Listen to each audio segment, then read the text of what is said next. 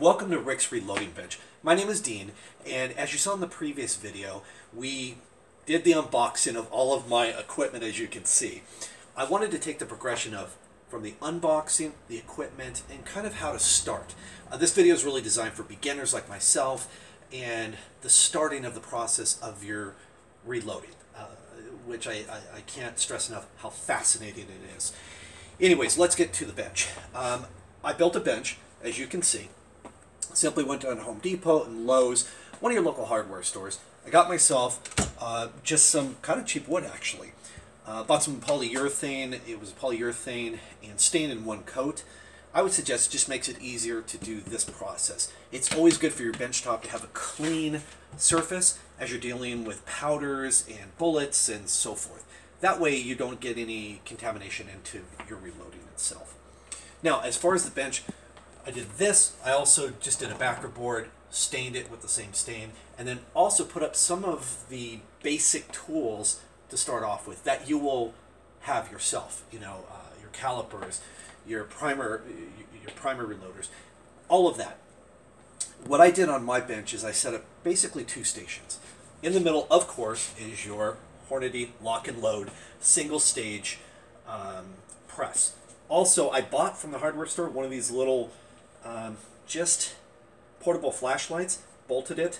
Now we've got light. I suggest doing that because unless you've got really good overhead light, this is a really good tip that I learned actually from Rick and a few other reloaders to have some light in there. It just so you can keep track of everything a little bit better and see everything. What I did on my bench is, as you saw from the unboxing, all the equipment that I got, I started first, as I said, in the middle with my press. Off to the left, a powder dispenser. This is a Hornady with an RCBS stand. I just painted the stand so it matched. You can do whatever you want to do. Uh, this will be your powder reloader uh, for your rounds. We're going to do in a later video how to set this up, how to dial in uh, the drop, everything. That way, if you do get it and set it up, there'll be a video that we do with uh, Rick explaining exactly how to do this process. Secondly, I bought myself, it's not a necessity, but I really wanted it for my precision loads. I bought the Hornady um, automatic weigh station and dispenser. At a later video, we're going to go through this, the setup, how to operate it, and what exactly it does. This is a great device for a lot of um, precise measuring. You can do it yourself with a powder loader and also a trickler, if you would like. For me, I just wanted both. That was me.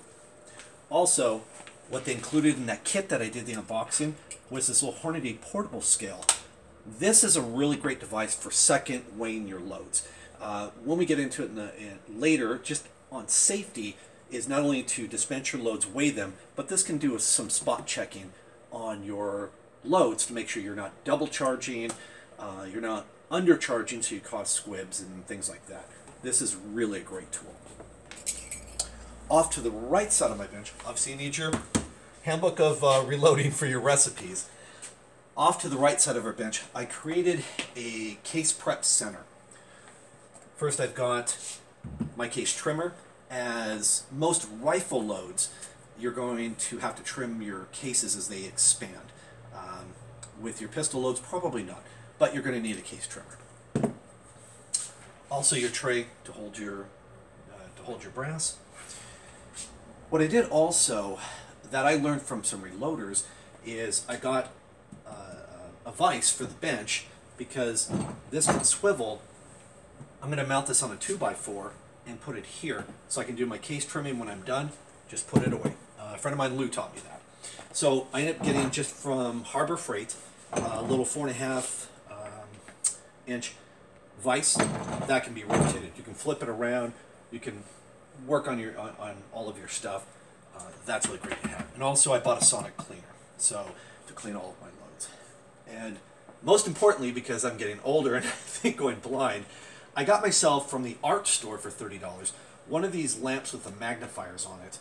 What is great about this is for brass inspection, you can simply hold it here and inspect your brass inside and out and get a better view on it because case prep is very essential for not only safety but also the proper loading of all your uh, of your reloads. So I got this to help me just to see it better, to inspect my brass for cracks, or any deviations and things like that. So um, I'm using only the utmost best brass for reloading. Um, that's the progression of my bench so far. Uh, I did put a top shelf here to hold all of my dies and, and so forth.